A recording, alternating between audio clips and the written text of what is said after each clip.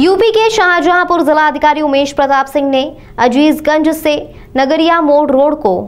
Kilometre तीन पर तैनात पुलिस विभाग की आपातकालीन सेवा जाल 112 की गाड़ी संख्या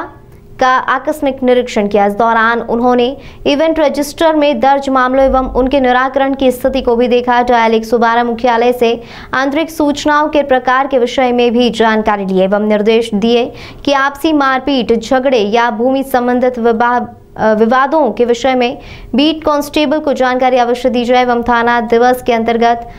आच्छादित होने योग्य प्रकरणों को थाना दिवस रजिस्टर में अंकित कराते हुए पुलिस एवं राजस्व की संयुक्त टीम मौके पर भेजने हेतु आवश्यक प्रबंध सुनिश्चित किए जाए।